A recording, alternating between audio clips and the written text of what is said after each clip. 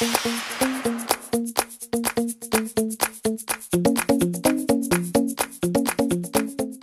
अजम इमरान खान ने कराची के लिए 1100 अरब रुपए के कराची ट्रांसफॉर्मेशन पैकेज का ऐलान किया है। इस पैकेज में कराची के लिए है क्या? और 1100 अरब रुपए की खतीर रकम किन मंसूबों पर खर्च की जाएगी? इस पर एक नज़र डालते हैं। वज़ी अजम के दफ्तर से जारी की गई तफसीत के मुताबिक पानी की फरहमी के मनसूबों के लिए बानवे अरब रुपए मुख्त किए गए हैं। सीवरेज निज़ाम की बेहतरी पर 141 अरब रुपए खर्च होंगे। सॉलिड वेस्ट मैनेजमेंट निकासी आग के लिए दो सौ सड़सठ अरब रुपए रखे गए हैं।